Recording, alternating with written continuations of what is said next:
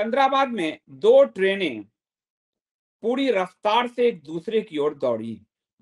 सिकंदराबाद में दो ट्रेनें पूरी रफ्तार से एक ही पटरी पर दोनों ओर से दौड़ी। एक में रेल मंत्री अश्विनी वैष्णव जी थे, दूसरे में रेलवे बोर्ड के अध्यक्ष विनय कुमार त्रिपाठी थे।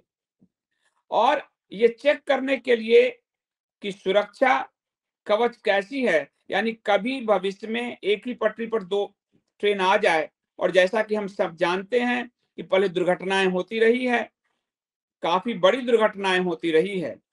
तो इस दुर्घटना को रोकने के लिए इसको चेक किया गया कि ये कवच सुरक्षा प्रणाली आपस में कैसी है, ट्रेनें टकराती है या नहीं।